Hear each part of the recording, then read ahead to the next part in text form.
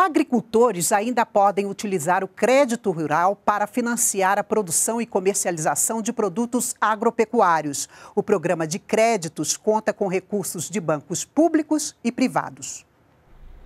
Nesta propriedade de 280 hectares na região rural de Brasília, parte da produção vem para essa cooperativa. O produtor rural conta que faz empréstimos para custeio em toda a safra e que este ano vai investir em maquinário e armazenamento. A gente fez alguns, é, a, a, captou recursos para investimento é, na parte de máquinas e armazenagem de grãos também mais ou menos uns 2 milhões de reais é, para isso. A maioria dos produtores tem uma dependência muito grande desse recurso para se fazer o plantio. A gente busca em média de 2 milhões e meio a 3 milhões de reais por ano para se fazer o custeio também da safra. Uma das dificuldades ainda enfrentadas no campo, principalmente pelos pequenos produtores, é o escoamento da produção.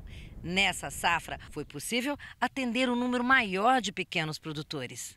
O valor das contratações das operações de crédito rural nos dois primeiros meses da safra 2019-2020 foi de quase 39 bilhões de reais. Já o custeio do Programa Nacional de Apoio ao Médio Produtor Rural alocou quase 6 bilhões de reais para o custeio do Programa Nacional de Fortalecimento da Agricultura Familiar Pronaf, foram financiados mais de 148 mil contratos, o equivalente a 4,4 bilhões de reais. Acho que recurso tem e, e o produtor, por mais que seja, tem alguma dificuldade, ele está conseguindo acessar o crédito.